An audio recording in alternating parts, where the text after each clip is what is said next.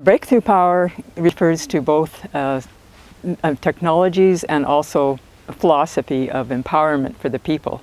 The technologies are a whole variety of really revolutionary approaches to getting our energy for electricity and for running cars and, and for heating our homes and greenhouses and, and running our businesses.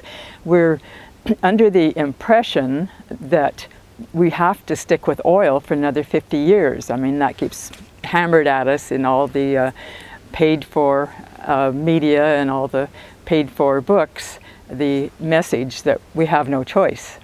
And also the message that we have no choice as far as needing jobs, that we have to keep in the oil uh, fossil fuel economy, which is all totally untrue.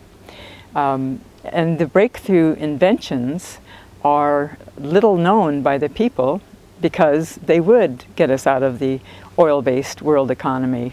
And there are vested interests who really don't want us to get out of the oil-based world economy while they're still gathering their fortunes. So that's why you hear the projection that, oh, exotic energy technologies might come in in another 50 years, 20, 20 50, whatever.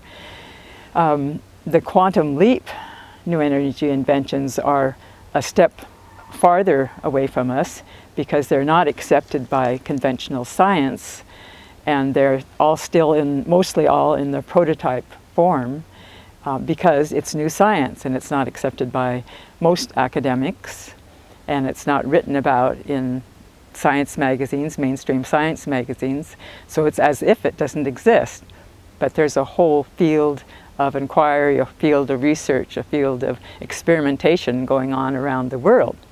So it actually is very real, and I've been exposed to reality of it for a number of years.